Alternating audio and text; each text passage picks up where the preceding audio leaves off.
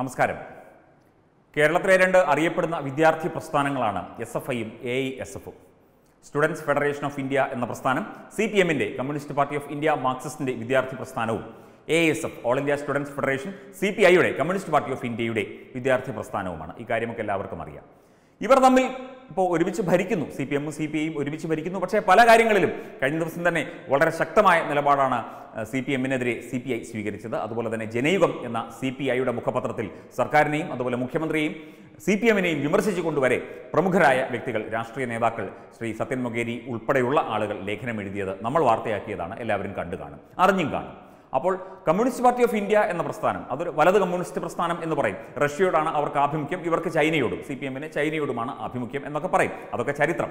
എന്തൊക്കെയായാലും ഈ അവിഭക്ത communist party ഉണ്ടായിരുന്ന കാലത്ത് അതിന് ആ സമയത്ത് ഒരുമിച്ച് പ്രവർത്തിച്ചിരുന്ന ഇവർ പിന്നീട് ഇങ്ങോട്ട് അവരുടെ ആശയപരമായ വ്യതിയാനങ്ങൾ കൊണ്ടാണ് രണ്ടായതെന്നൊക്കെ പറയുന്നു. അതിനൊന്നും നമ്മൾ വലിയ ചരിത്ര സംഭവം സംഭവമായിട്ട് അതിനെ കാണേണ്ട കാര്യവുമില്ല എന്നുള്ളതാണ് വാസ്തവം. കാരണം ഈ ഇത്തരത്തിൽ വികലമായ കമ്മ്യൂണിസ്റ്റ് ആശയങ്ങളും ചിന്താഗതികളും സോഷ്യലിസം എന്നൊക്കെ പറഞ്ഞ് മുതലാളിത്തത്തെ ചവിട്ടിത്തേക്കണമെന്ന് പറഞ്ഞ് മുതലാളിമാരുടെ പുറകിലെ ജനലിലൂടെ പണം വാങ്ങുന്ന പ്രസ്ഥാനങ്ങളാണ് ഇവയൊക്കെ എന്ന് നമുക്കും ജനങ്ങൾക്ക് വ്യക്തമായിട്ട് തന്നെ അറിയുകയും ചെയ്യാം.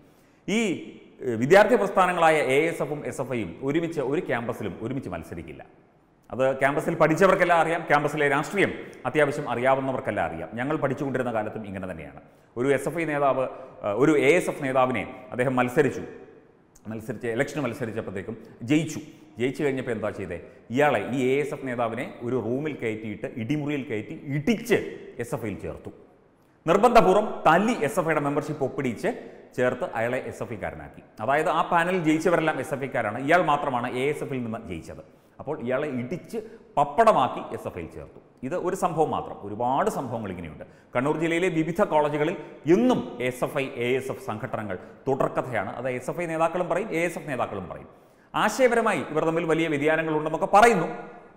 പക്ഷേ ഈ ഇടികൊള്ളാൻ മാത്രമാണ് എ എസ് എഫുകാർ നടക്കുന്നത്. ഇതാ ഒരു എ എസ് എഫ് നേതാവിനെതിരെ എസ് എഫ് ഐക്കാർ സൈബർ ആക്രമണം നടത്തി എന്നുള്ളതാണ്. ഇപ്പോൾ സൈബർ ആക്രമണമാണല്ലോ പുതിയ പരിപാടി. നേരിട്ട് ആക്രമിക്കാൻ പറ്റില്ല എങ്ങും പോകാൻ പറ്റില്ലല്ലോ. അതുകൊണ്ട് സൈബർ ആക്രമണങ്ങളുടെ കാലമാണ് സൈബർ ആക്രമണം നടത്തി എന്ന രീതിയിലാണ് പരാതികൾ വന്നിരിക്കുന്നത്. മാത്രമല്ല എ എസ് എഫും അതുപോലെ സി പി ഐയുടെ യുവ ജനസംഘടനയായ എ വൈ എഫും ഒക്കെ ഇതിനെതിരെ ശക്തമായി രംഗത്തെത്തുകയും ചെയ്തു. മാത്രമല്ല ഇത് ഈ വിഷയം ചോദിക്കാൻ എ എസ് എഫിലെയും എ വൈ എഫിലെയും വിവിധ നേതാക്കളെ ഞങ്ങൾ വിളിച്ചപ്പോൾ സത്യം പറഞ്ഞാൽ അവരാരും പ്രതികരിച്ചില്ല എന്നുള്ളതാണ് വാസ്തവം. അവർക്ക് പേടിയായിരിക്കും. എന്താണെന്നറിയില്ല.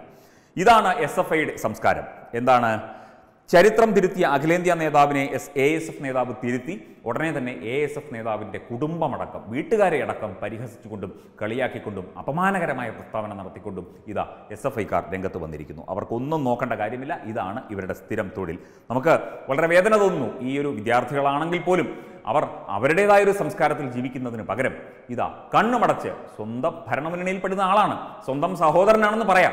അങ്ങനെയുള്ളവരെ വരെ ഇങ്ങനെ ഭീഷണിപ്പെടുത്തുകയും കുടുംബമടക്കം അപമാനിക്കുകയും ചെയ്യുന്ന വളരെ വേദനാജനകമായ അവസ്ഥയിലൂടെയാണ് ഇപ്പോൾ ഈ രാജ്യം കടന്നു പോകുന്നത് എന്നുള്ളതാണ് ഏറ്റവും പ്രധാനപ്പെട്ട കാര്യം. നമുക്ക് നോക്കാം. ആ ഒരു വാർത്തയിലേക്കും അതിന്റെ വിശദാംശങ്ങളും നമുക്കൊന്ന് നോക്കാം. അത് കേട്ട് കഴിയുമ്പോൾ പ്രേക്ഷകർക്ക് മനസ്സിലാകും.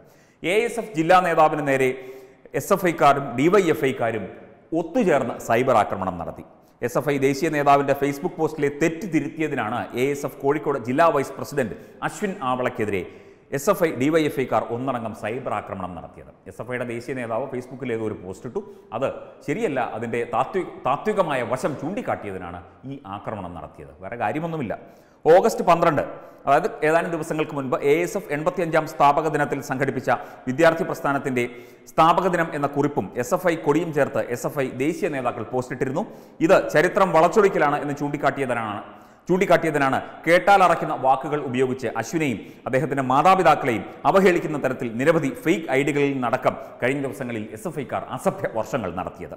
ആക്രമണത്തിനെതിരെ അശ്വിൻ മേപ്പയ്യൂർ പോലീസ് സ്റ്റേഷനിൽ പരാതി നൽകുകയും പരാതിയുടെ പകർപ്പ് മുഖ്യമന്ത്രി ഡി ജി പി ജില്ലാ പോലീസ് മേധാവി എന്നിവർക്ക് നൽകുകയും ചെയ്തിട്ടുണ്ട്. ഇതിന് പിന്നാലെയാണ് S F I DYFI cyber ഗുണ്ടകൾ നടത്തിയ ആക്രമണത്തിൽ പ്രതിഷേധിക്കണമെന്നാവശ്യപ്പെട്ട് എ എസ് എഫ് ഇപ്പോൾ ഔദ്യോഗികമായ ഒരു പ്രസ്താവന ഇറക്കിയത്. എതിരാളികളെയും എതിർ ആശയങ്ങളെയും കയ്യൂക്കിന്റെ ബലത്തിൽ അടിച്ചമർത്തുക എന്ന ഇവരുടെ സ്ഥിരം ശൈലി ഈ കോവിഡ് കാലത്ത് അന്യം നിന്ന് പോവാതിരിക്കാനും അവരുടെ കൈത്തിരിപ്പ് തീർക്കാനുമാണ് ഇത്തരത്തിൽ ആക്രമങ്ങൾ നടത്തി വരുന്നതെന്നും S F I A S F Kozhikode ജില്ലാ കമ്മിറ്റി കുറ്റപ്പെടുത്തുകയും ചെയ്തു. ഇത് ഈ സംസ്കാരത്തെയും ഒക്കെ ഇങ്ങനെ അവഹേളിക്കുന്ന രീതിയിൽ അതായത് വീട്ടുകാരെയും അവരുടെ ജീവിത രീതികളെയും ഒക്കെ അപമാനിക്കുന്ന രീതിയിലൊക്കെ ചെയ്തു കൂട്ടുന്ന ഈ കൊടും ക്രൂരതകൾ സൈബർ ആക്രമണങ്ങൾ ഇതൊക്കെ എസ് എഫ് ഐക്കാർ അവരുടെ സ്ഥിരം ശൈലിയാണിത്. ശരീരം കൊണ്ട് ആക്രമിക്കാൻ കായികമായി നേരിടാൻ പറ്റാത്തതുകൊണ്ട് ഈ രീതിയിൽ സൈബർ ആക്രമണത്തിലൂടെ അവരെ മാനം കെടുത്തുകയും അവരുടെ കുടുംബമടക്കം അത് എ എസ് എഫുകാരനായാലും ശരി മറ്റേ കെ എസ് യുക്കാരനായാലും എ ബി വി പിക്കാരനായാലും ഏത് എം എസ് എഫുകാരനായാലും ഇതൊക്കെയാണ് ഇപ്പോൾ. അതായത് ചെറുപ്പത്തിലെ തന്നെ വിദ്യാർത്ഥികളായിരിക്കുമ്പോൾ തന്നെ ഈ രീതിയിൽ മറ്റുള്ളവരെ അപമാനിക്കാനും ഉപദ്രവിക്കാനും പഠിപ്പിച്ചു വച്ചിരിക്കുകയാണ് ഈ എസ് എഫ് ഐക്കാരെ എന്നുള്ളതാണ് ഇതിൽ നിന്ന് മനസ്സിലാകുന്നത്. നമ്മൾ ഈ രീതിയിൽ വളരെ മോശമായിട്ട് ഉള്ള പെരുമാറ്റം വിദ്യാർത്ഥികളൊന്നും പഠിക്കേണ്ടതല്ല. പ്രതിപക്ഷ ബഹുമാനത്തോടുകൂടി പെരുമാറാനുള്ള ഒരു ട്രെയിനിങ് ആണ് എസ് എഫ് ഐക്കാർക്ക് കൊടുക്കേണ്ടത്.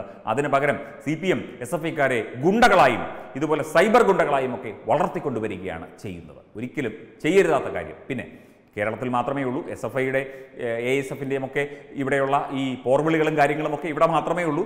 ഇപ്പോൾ ജെ എൻ യുയിൽ പോയാൽ കാണാം. അല്ലാതെ വേറെങ്ങും ഇതൊന്നും കാണാനില്ല എന്നുള്ളത് ഭാഗ്യം. ഇവർ സംസ്ഥാന വിവിധ സംസ്ഥാനങ്ങളിൽ ഉണ്ടായിരുന്നെങ്കിൽ എന്താകും ഇവിടുത്തെ വളർന്നു വരുന്ന തലമുറയുടെ അവസ്ഥ എന്നുകൂടി ഒന്ന് ആലോചിച്ച് പോവുകയാണ് ഈ അവസരത്തിൽ. Web desk Tatwamayi news.